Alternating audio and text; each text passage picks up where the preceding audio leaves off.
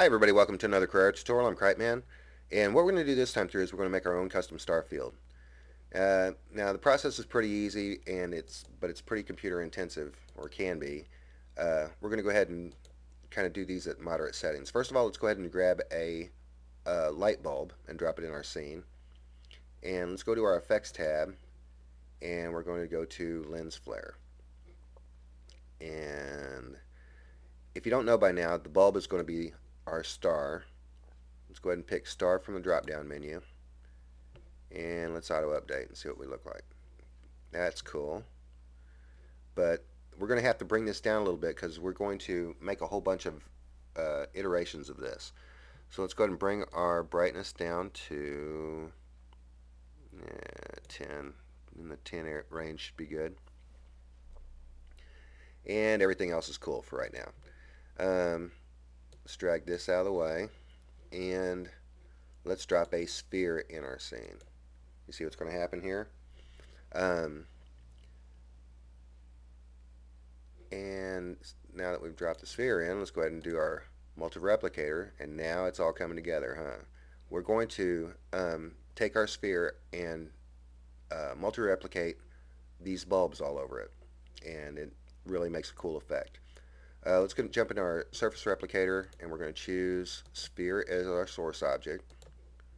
And we're going to add bulb as our replicated object. And that's good. Let's go into our sphere let's go to sphere motion and let's drag that up to 1000 let's drag it up to 2000 there we go. And jump into multi-replicator again. And since our sphere is so big, let's go ahead and make number of objects. Uh, 500. see, yeah, there we go. Kind of gives it a story effect.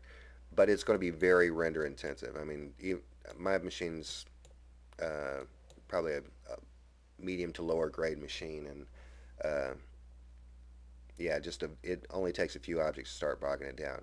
Let's go ahead and render. And you notice that it's all white right here. If I let it keep on rendering, it's just going to be a big white background. Um, let's go to our sphere and we're going to make it invisible. Now, let's see what we got.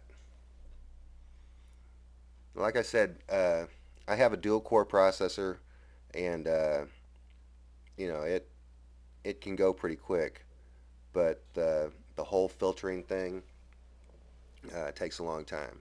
Uh, while it's rendering too you can also well it ain't going to take very much longer. There we go. And then we have a nice that's kind of fakey looking but you kind of get the idea. Now I've got some examples of uh, of what we got fill this up and loop it. And uh, if you spin it around, if you spin it around, uh, you could add other spheres to it and have kind of like a parallax effect.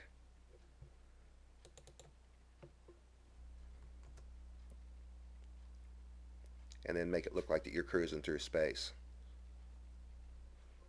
So there's a whole bunch of things you can do with it, and uh, it's a very cool idea. You can use the star background in, in your uh, browser, but if you can do your own, you can do that too. Anyway, uh, that's it for this time. I'm Cripeman, and I'll talk to you again later.